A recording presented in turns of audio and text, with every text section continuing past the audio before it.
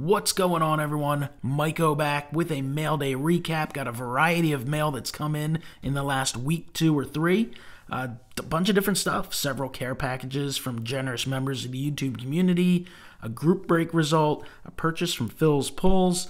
We got a pre-war pickup for the Phillies PC, so that's super sweet. Large variety of stuff, and I'm excited to get into it.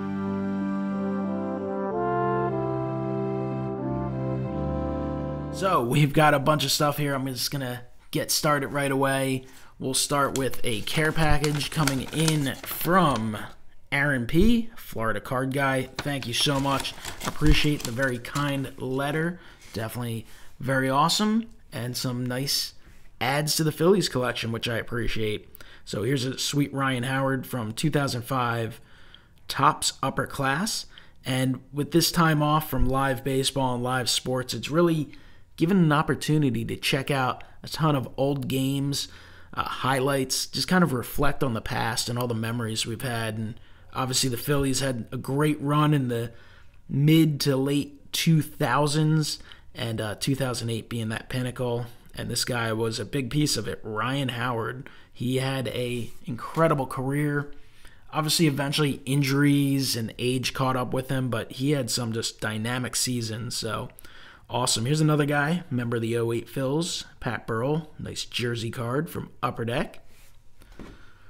We've got a bat game used relic card from Fleer, Splendid Splinters, another Pat Burrell. So always appreciate the 08 guys. It's just been it's been awesome to go back and watch old games and you know it's just great. You, it's amazing. Some of them are 10, 15, 20 years old, and you just remember them like they're yesterday. Here's a 2005 Topps Ryan Howard Cole Hamels prospect card. I'd say that worked out well. Two very good prospects. Helped result in a World Series championship. And uh, two guys that will eventually, more than likely, end up on the Phillies Wall of Fame. So that's cool. PSA Mint 9. So great for the slabbed Phillies PC. It's a card I have in my Ultimate Topps team set binder, but obviously did not have slabbed, and I appreciate having it slabbed. So, Aaron, thank you so much for those. Got a little package in here from Michael Ivy.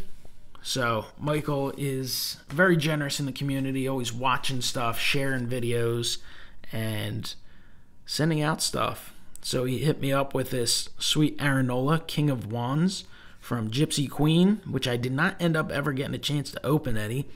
Uh, this product is skyrocketed in price quite a bit. I think you could get them for like 85. Now they're like 130, 140 a box, and never picked up any retail, but very cool. Love the uh, rounded corners. Definitely adds to it. Hooked me up with a few other Topps cards, so I appreciate that, Michael. We got Hitman 23. This one came in a couple weeks ago and did not get to it. So, Mike, once again, thank you. And he's just hooking me up with some childhood favorites, which is uh, awesome. It's really fun to reflect on them. I'm a big Terry Mulholland fan, and Mike knows it, so I appreciate that. Back August 15th, 1990, Mulholland threw a no hitter against the San Francisco Giants. I was in attendance. Definitely uh, a memory I'll cherish forever. Love the Fleer Ultra. And speaking of old games I was talking about, I actually uh, watched that in the last week or so, the broadcast on Prism. Mike Schmidt was one of the announcers that day. So definitely great to reflect on that. Gary Carter making the last out in a line drive to Charlie Hayes. So some sweet Terry Mulhollands and 89 Topps one of my uh, all-time favorite sets. The really the first set I ever collected. That's what got me into cards. Love the photo there. And honestly, it really does look like that is at Veteran Stadium, believe it or not.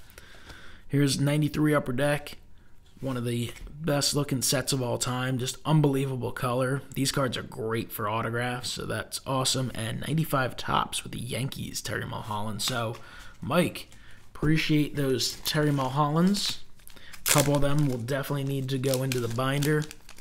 And then he hooked me up with some Drew Bledsoe's, another childhood favorite. And this card, one of my all time favorite Bledsoe cards. I remember back when it came out out of SPX, or Upper Deck SP, I should say. Um, pretty tough to pull. And I have a few of these. I would actually, I can't remember if I bought one of these graded or not at one point, but would definitely be cool. Upper Deck, the retro uniform, Stadium Club, Hollow, and uh, new Tampa Bay Buccaneer, Rob Gronkowski. So, Hitman 23, appreciate it a great deal. Thank you very much. Here's a Didi Gregorius from the Topps Living set. So I showed off one of these recently. I sent one of these off to SGC for grading. As a Phillies collector, I try and grade one of all of the Topps Living Set Phillies cards, and then I also keep one raw. And if ever given the chance, love to get these autographed.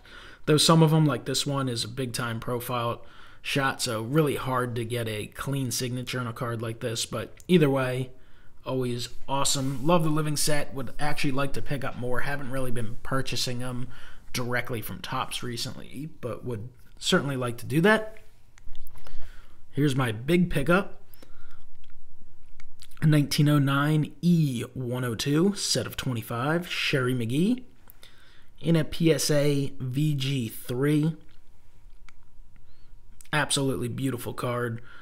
I would like to do a little research. Is that like the first action shot in Phillies card history? I'm not sure, but this is uh, a sweet card and really happy to add it to the collection. Look at some of the names on the back there because that 25 card set, Ty Cobb, pretty solid hitter right there. So that's awesome. This is uh, like anything pre-war can be kind of tough. You see them come up from time to time, and if you're interested, sometimes you have to jump on it. I looked up the pop report. I think there's 16 of these total slabbed by PSA. Obviously, there's going to be additional ones by other companies, including SGC, which I didn't look up those pop reports, but either way, super happy to add an old school card to the Phillies collection. I haven't really been purchasing a ton of cards, especially uh, pricier cards but I'm happy to add this one. Sherry Magee had a really, really good career. He's one of those borderline Hall of Fame guys. I know he's been considered by some of the uh, some of the different classes with the uh, with the Hall of Fame, some of the committees, I should say, and uh, you know during the dead ball era, he was he was definitely a star there for a number of years. If you look at his stats compared to some other guys, he's uh, a guy who certainly deserves consideration also, very good uh, defensive player. We'll respect it for that. And, uh, you know, he hasn't gotten there. We'll see if maybe he ever does. But uh, it's funny, his career ended in Major League Baseball at like age 34. So he was fairly young. And he played in the minors for years after that. He kind of, I think, uh, wore out his welcome in Major League Baseball. He did have some issues. He there's a story about how he punched out an umpire one time in a disagreement, knocked the guy out. So uh, he certainly had some issues over the years as well. So that probably played a role. He did eventually actually become an umpire, uh, umpired a little bit in independent leagues and in the majors for a short while, but passed away in his mid 40s of pneumonia, if I remember right. So Sherry Magee, he is in the Phillies Wall of Fame. So definitely an all time great to have in the Phillies collection. And just anytime you can pick up something old school that is fairly rare, that is uh, pretty awesome. I love the modern cards and I love the vintage and the pre wars. Pretty special too, so I think that's the most enjoyable way, at least for me, to collect kind of all the different phases. So, really happy to add that one to the collection. We've got a stack here of Gypsy Queen, bought into a group break just to kind of grab some cards to the collection. Love the Wheel of Fortune. Harper card looks awesome. Obviously, got a bunch of base. Didn't really hit anything special. No autos or anything, but got obviously a team set and then some chromes like Bryce Harper. Did hit a blue refractor of Harper, so that's pretty sweet. Realmuto's in the set. Uh, Kingery, Haseley, Gregorius. So, this is kind of the selection of base cards. Nick Williams, kind of an odd choice to be included in the set, to be honest with you. He was kind of a part time up and down player last year, Jake Arrieta. But hey, it is what it is. They did what they did with their checklist. It's just, I mean, I like Nick Williams. He just doesn't seem to have a strong future in Philadelphia. Uh, got another really nice care package from this baseball card life. So super, super generous. I know Mike said he wasn't really looking for recognition for it, but felt like it was necessary. Uh, he opened some Topps opening day, and he sent me a bunch of Phillies cards. So it was a sweet card of Citizens Bank Park, and then some of the base cards, which Rhys Hoskins, I believe, is the only one in the set. Rhys Hoskins, where he wasn't featured in Top Series 1, so that one will certainly go in the team set binder. Uh, some foils. Big fan of these foils. We got Nola and Harper. And the red foil of Hoskins. We got Realmuto. So really like them. Here's a Harper insert.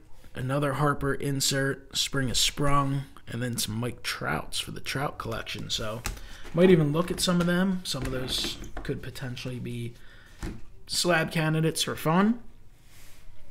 This is pretty sweet and very generous. It Topps Diamond Relics, Rhys Hoskins, Citizens Bank Park, Game Used Dirt. So some pieces of dirt on a Rhys Hoskins card. So pretty tough pull, I'm sure. The relics are not super uh, super easy to get. I guess if you do a hobby box, maybe you get one per box. I don't know for sure, but that is a super thick card and super generous move by this baseball card life. And then he also hooked this up. Variation 1 in 615 packs. So the photo variations are tough. And he hooked me up with the Rhys Hoskins running out of the dugout. So again, one I did not have and I really, really appreciate. So, Mike, thank you so much. You guys should check out his channel and a channel that many probably already uh, subscribe to because he has just lit up the uh, community. His channel has grown incredibly. Phil's Pulls, aka Phil Hughes, former Yankees pitcher, obviously pitched with the Twins as well. Makes card videos, does a really good job. Like I said, extremely popular. And he's been selling some uh, lots of Chrome Sapphire. So I jumped in on one of them. It's kind of a mystery pack. There are some hits. I know there's some autographs you can get, and I think there's a few decent rookies. I really uh, didn't pay attention. I just decided to do it to do it, and uh, we'll see uh, what we get. But not that Phil's ever going to see the video, but appreciate it. Appreciate the content. Sent a few Bowman packs. Looks like I did get an autograph there. Two 2019 Bowman packs and did get an auto. It's Kevin Newman for the Pirates. So not bad. Definitely cool to get an auto. And we'll see what kind of players we get in the Sapphire. Obviously, Sapphire is super expensive. I think the 2019 boxes are around 300 250 to 300 dollars 2018 obviously just out of control i don't know if you can find anything before that so let's see what we got. We got a White Sox team card. Commons of these can any, go anywhere from like a buck to three bucks. And then if you get stars, guys like Mike Trout, pretty pricey. I don't think Trout was included in any of them. Rookie cards. Tatis, and those guys are hundreds and hundreds of dollars. Petit, Abreu. I broke a couple of these boxes. I got uh, Eloy Jimenez, so I did all right overall. VR, Josh Bell, Sierra, Sean Doolittle, Vizcaino, Delmonico, Jean Segura, Jose Ramirez, Jorge Alfaro. That's a cool one. I like Alfaro. I like the rookie cup. Nick Pivetta. I do have the full Phillies team set already. Ian Kinsler. Christian Yelich, league leaders. Kevin Gausman. Jacoby Jones, Yoan Moncada. There's a star. Harrison Bader, rookie cup. Look at that shine, though. Unbelievable. Wilmer Difo, Ji-Man Choi, Taylor Ward, and Paul Goldschmidt. Again, beautiful card. Look at that. Looks awesome. So that was a fun little rip.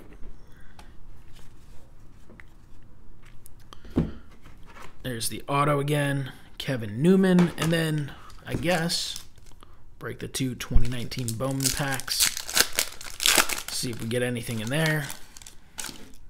You got Dakota Hudson, Danny Jansen, Kyle Wright, Mychal Givens, Matt Carpenter, Chrome of Ke'Bryan Hayes, Franklin Perez, Alec Bohm, nice Alec Bohm, Jojo Romero, and Morejon. And pack number two, Maikel Franco, Cody Bellinger, Miguel Cabrera, Jose Abreu, Chris Archer, Victor Victor Mesa, first Bowman, so not a bad chrome to get there. Jeter Downs, Zack Collins, Matt Mercer, and Brock Burke. So there you go. That is the mail day. Fun mail day. Got to break open a mystery pack. Got to show off some Gypsy Queen.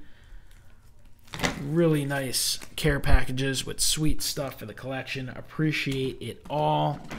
And then, of course, the 1909 E102 set of 25, Sherry Magee. So definitely another mixed mail day. It's kind of the way I like to do it. Some products that just came out like in the last month, and some products that came out well over 100 years ago. Thank you for watching. Comment below. Let me know what you think of all the pickups, all the additions to the collection. Check out all the YouTubers I mentioned, and have yourselves a great one. Be safe, be smart. I'll talk to you next time.